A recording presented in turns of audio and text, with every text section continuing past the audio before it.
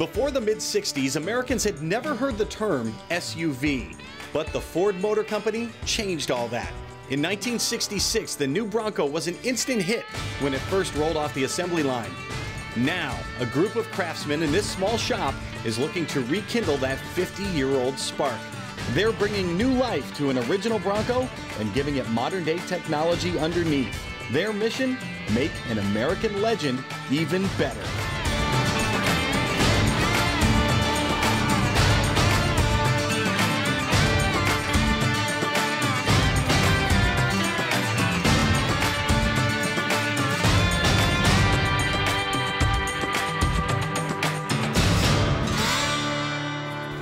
This is the headquarters for brand new muscle car. The team here has spent countless hours on a classic Bronco build, poring over every detail from the body and suspension to the paint and interior, and of course, the 400 plus horsepower engine under the hood. And we have come to the moment of truth. The owner of this vehicle is flying in from Phoenix to see his Bronco for the first time. At long last, it's time to let this Bronco out of the stable. Right, the fun part is going to be here. One of the things that people always identify with, and I know I really latch onto, are the small details. And a lot of it is emblems, chrome, trim, whether it's a 302 on a Camaro hood or a Bronco emblem on a fender or Mustang emblems, whatever it is. One and a half. One and a half. It's those little details that, that say Z28 or Bronco or Mach 1 or Boss or whatever it is that really get me excited to see a 50 year old car that feels, looks, smells new. To me, that's the best. I'll get out of your way. See, You really don't want me going sideways. no, I don't. I've known Jared for about 15 years. Uh, We started working at a body shop together, and he just rolled in and uh, decided he wanted to paint cars. And uh, so he started working with us, and so just over the years we've grown pretty close. Our kids know each other, you know, our wives hang out. I mean, uh, we're friends. Dustin. What do we say about Dustin? Put your hand. Got you. Ow! I'm just kidding. The one thing that I want to get across is that Dustin is my absolute best friend in the world. I mean, there's nothing I can't call him about. There's nothing I can't talk to him about. He was one of my best men in my wedding. We lean on each other's shoulder a lot, and I think that's what's grown our friendship throughout the years. We've owned the collision side first, and then we got into the brand new muscle car side later. And I think the collision side really started growing our friendship from just working together to okay, now we're business partners. I like that a lot. Walking down the side of it, Yep, looks better. It looks slick. That's right, because we did it. Yeah, yeah. When I was born, my parents had a hot rod. It was a 1969 Le Mans Blue Z28 Camaro, just like the one I'm sitting in right now. But this is one of my all-time favorite cars, and I can't believe we get to restore it. It's a numbers matching car, all original. Nothing's been changed. It even had the original paint job, one paint job. It was so clean and so nice, we didn't even have it media blasted. We just hand sanded it down and started a straight restoration, and it's an amazing car. We can't wait to see it when it's done. This is one of the original 69 Z28 302 car, which they only made very few. I'm not sure the numbers, but it's a it's a really limited number car with that certain motor and tranny combination in it.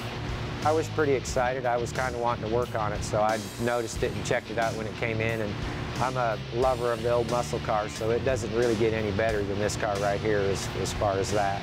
In this case, we're trying to get it back to as close to original condition as we can. It kind of, the customer will dictate what he wants, and then this car was so nice and being rare, they're going to try to get it back to more of an original shape than, than anything, you know, other than that. I mean, that's pretty much one good for your resume. It's, it's one that you like to work on. I've worked on a few, and they're, they're always just something new, and, and, and not too many people get to work on them, so it's kind of a treat.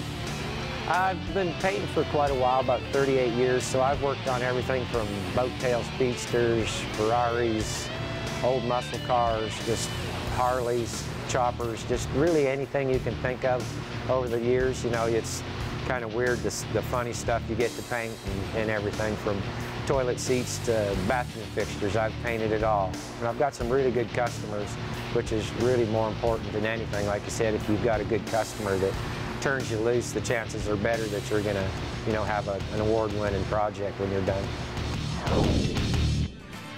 Keep it right here because when we come back, the crew puts the finishing touches on this beautiful Bronco because the owner and his family are on the way to see it for the very first time.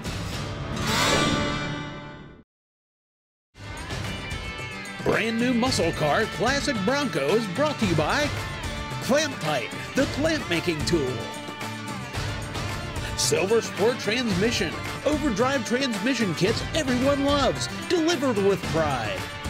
And by Axalta Coating Systems, we paint winners. Welcome back to Tulsa in northeast Oklahoma. It's a big city that feels like a small town, and that means everyone here knows everyone else, especially in the automotive business. That works out perfectly for the crew at Brand New Muscle Car because when they need hand painting and pinstripes on any vehicle, they know just the guy. My name's uh, Greg Tudor, and I go by the name of Little Toot, and uh, Little Toot Auto Artworks. First thing I'm going to do is figuring out my color. We're looking to match the color that's already been used on the wheels. I've spent a lot of years learning how colors mix and match, what additions can change it. Sometimes it's not always what you think. It's not just black or white. Sometimes you need to throw in a hint of purple or a hint of red. That's about as close as you can match a metallic with a solid color. And we want to come up with something that really complements the car. And being that it's on a black paint job, I think that's going to be exactly what we need right there. I'm going to start by using my maul stick. This is a old sign painter's tool. And all it is is an aluminum rod. It's got a rubber tip on the end of it. And what it does is allows me to anchor the rubber tip against the vehicle or the wall, whatever I'm working on. And it helps steady my hand without me laying my hand in the paint. I'm going to be filling in the lettering on the front emblem and doing a little pinstriping and maybe a few other little details here and there. All of it is done by hand. In pinstriping, we use enamel-based paints.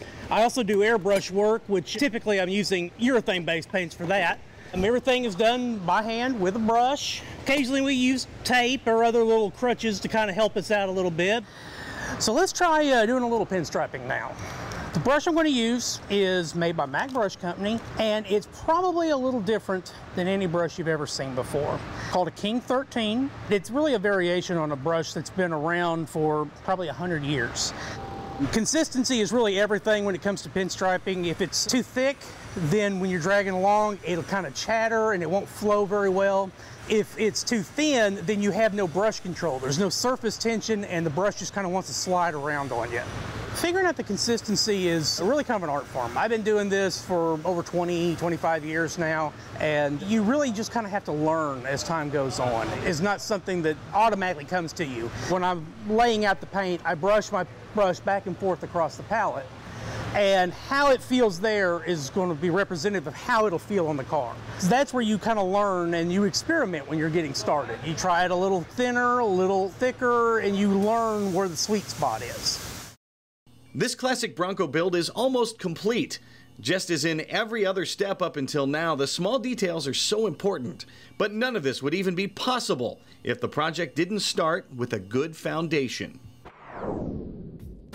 One of the things that's fun about building a Bronco versus a Mustang or Camaro, which is what we're more known for, is when you're building a Bronco from scratch, Broncos have frames. A full, real, old school frame, right? So where are you gonna get that when you build a car from scratch? In our case, we get it from No Limit Engineering. No Limit Engineering builds custom, completely new frames. And they do it for everything. They do it for Mustangs, Camaros, old Chevy trucks, and Broncos now and they do suspension and they do all kinds of great stuff and make these things drive like a brand new car. And that's kind of the point of what we do. We make vehicles that look like yesterday and drive like today, and No Limit Engineering, that's their specialty. Having a solid platform make, means a lot. It gives you a lot of feeling in the car. And we strive to provide the best platform so that the suspension can do its job. Do you feel confident when you're in the driver's seat that when you stab the gas and turn the steering wheel, it's going to do what you want it to do? We spend a lot of time discussing with the customer what they want in their project. It's not my car, it's not anybody's car here, it's going to be the customer's car. And we want to guarantee them the best fit for their application. And our goal is to really to work for the customer to make sure that they're proud of the finished product and that they enjoy it. Well, this is a stock Bronco chassis. We think it's a 68 or 69. And we were pretty surprised how minimal it is. It's really not much to it. There's two frame rails and two welded cross members, one up in the front, one in the back, and that's all they had. There was a bolt-in cross member for the trans and transfer case mount and these little pods for the engine mount.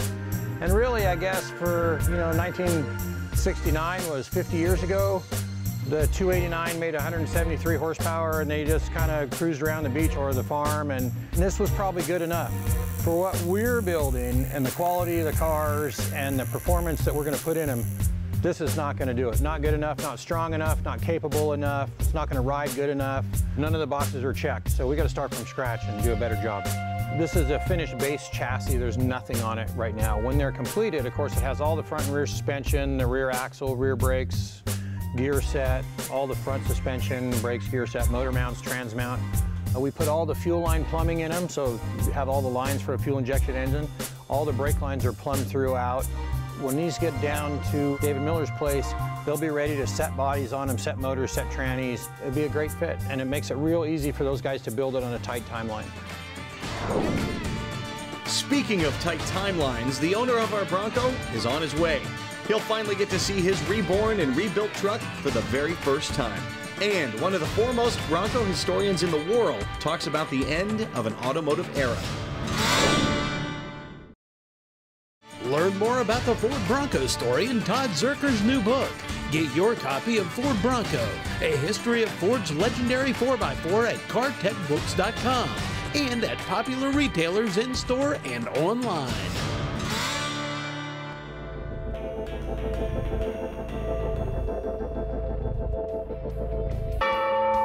First generation Bronco, amazingly, was produced for 12 model years. And then with the starting with the second generation truck in 1978, the Bronco became much more truck-like. It was based on the F-Series truck for the rest of its life. The creature comforts and drivability increased with each succeeding generation then through 1996 with greater technology, more refinement, and just things that made it more like what we think of as a modern sport utility today. The Bronco disappeared after 1996 for a variety of reasons, one of the main ones being that it only had two doors. The new, smaller sport utilities that had come out in the late 80s and early 1990s had four doors, handled and drove better, and had much better fuel economy than the Bronco with only two doors and a large V8 engine. You have to go back and look at the Ford Explorer, which was introduced in 1991 immediately started selling in the hundreds of thousands of units per year. Compare that to the Bronco, which in the 90s was selling at 35, 40,000 units a year, and, and it just, the math didn't make sense. And people wanted easier access. You needed a four-door, and so that's why the Expedition came along in 1997. And the, you look at the sales numbers of the 1997 Expedition versus the 1996 Bronco, and at the time you said, this is a no-brainer as to why we're moving in this direction. I think there was a certain amount of sadness when we knew that the Bronco was going away because that had been such a storied nameplate for 30 years. We thought, well, maybe they could transfer the nameplate onto the four-door vehicle, but they didn't. They retired that. By the same token, we've said, okay, unfortunately it's going away, but now it just makes us that more exclusive. The club just got all that more cooler because they're not making them anymore. So it's go time. Zero hour, customers on the way. Guys are finishing up the last few details. The Bronco's looking really sharp. Our detailing guy's name is Anthony. And the thing about Anthony is, not only is he easy to work with, he's very good at what he does, but he cares. I mean, it's all about the details, of course. The guy will treat your car like his car every time. You don't have to tell him, get all the nooks, get all the crannies, open all the everything up, check everything twice. He's under it, he's in it, he's on it. The guy's amazing, especially on a 4x4 where we need the suspension done. Anthony's up under there polishing the shocks without being asked, and that's really, really nice. And the Bronco has to look really, really nice because the customer is here. How's it going? David, welcome. Josh. Oh, look at you got the gang. Brought the whole gang. This is my wife, Candace. Hey, nice to meet you. My daughter, Taylee. Hey. My son, Garrett. Hey, nice to meet you. Addie. Hey. Lila. Hi. And Gemma. How are you? This is my brother, Jason. hey, man. And his wife, Cambry. Hey, wow, awesome. You brought everybody. The owner of this Bronco is a gentleman from Arizona. He's a huge truck guy. He's got like a dozen trucks. Wife, kids, big Bronco fan, and just couldn't resist the idea of doing a Bronco build start to finish. So you guys have waited six, seven months. You ready to see your new Bronco? Yeah! All right. Are you ready? Okay, let's go. Crazy story, really. Um, I, we just bought uh, the 66 U13 and just jumped on the U13 Facebook page. There was an article posted that they were looking for a U13 to possibly do a build. And so I just replied and said, hey, I just picked one up a couple weeks ago. Got a reply back that said, hey, let's give it a shot and see if we can make this work. This is the crew. If you want to meet the crew, the guys that built How's the it going? car.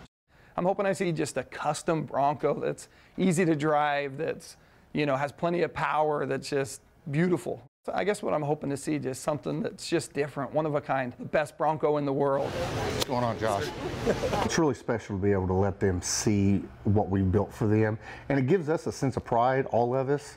And it doesn't matter who, who's worked on it or who's done it. It gives us all a sense of pride to be able to see their reaction whenever they see their car for the first time, because that's when it's really real for them. Ready? Let's unveil it. Oh, Holy cow. What do you think? Check it out. Oh, it is awesome. Holy cow. It's completely different than what I thought, to be honest with you. Way better. Wow, it's pretty. This doesn't look like whenever we picked it up. The best part that I like about doing a car is it leaving. Because whenever it leaves, that's whenever the customer gets it, and whenever the customer gets it and they're happy about it, that's that's my point. That's the, that's the part that I like. Oh, it is cool. We went a little nuts on the inside, 10 inches. Okay, Six other Dad. speakers. It's loud. It's really, really loud. We'll crank it up here in a second.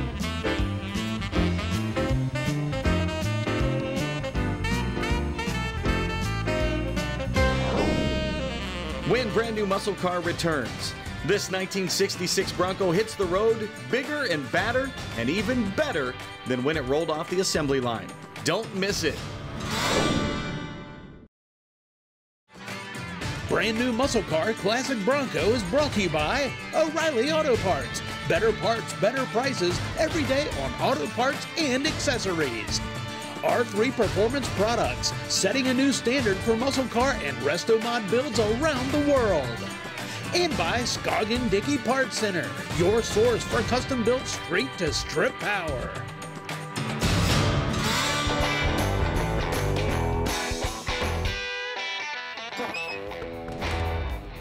Uh, had a friend that had a Bronco, and I had a K5 Blazer, and we would take them out uh, near the Mississippi, where I grew up, see how far we could take them. And uh, he was always, always able to get out, and I wasn't. So uh, two years ago, I had been watching a couple of Broncos that were at a dealership, and went in there last year and bought both of them and restored the 72 or brought it back up to where it needed to be and sold it to a guy that had this one and he was a real tried and true Bronco enthusiast. Dad had owned one. He redid this one, so I really can't take credit for it. It's pretty stock, has a crate engine that he put in it, five-speed manual transmission. He redid the paint and body on it to his taste, which was exactly the same colors as the original. But he did add one thing, which was the uh, Bronco emblems that was from the older Broncos. The Bronco 2 is from a different generation. Just wasn't quite the same animal. And it had a different crowd that was interested in it. A lot of people liked them because they drove more like a modern vehicle. Get great gas mileage compared to the old Broncos. They go down the highway 65, 70 mile an hour without any trouble. Original Broncos are definitely my favorites, but uh, you know, this has been great because I was able to drive it here, drive in comfort, and go up on some trails and just having a great time. All right, guys, you've checked it out. Josh, Jason, you guys ready to go for a ride? Oh man, been dying for this moment. Ready to go, bro. All right, start her up. Let's roll.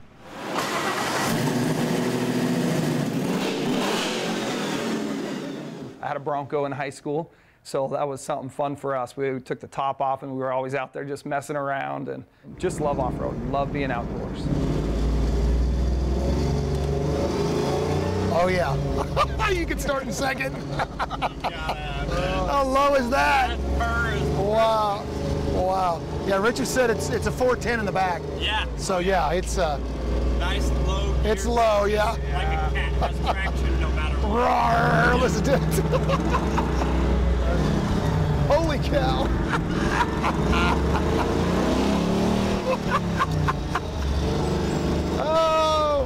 There's fifth for you, buddy. Oh my, we need we need two high bad. oh man, this is awesome. So roll cage, awesome, right? Yeah, yeah, I love it. Baja. It's actually called the Baja. Makes you just feel like you're outdoors and Yeah, you can enjoy great. life. It's just cool. I love the looks people give you when you come by. You Yep. see it, something's different. Absolutely. It's a classic car. Yeah. Iconic. I cannot tell you how impressed I am with how well it drives. Like, I've driven lots of Broncos, right? And you're hanging on, it's like a roller coaster ride, and this is just like ready to go. Yeah, straight line. Unreal, yeah. Ride's nice, the horsepower is just amazing. I mean,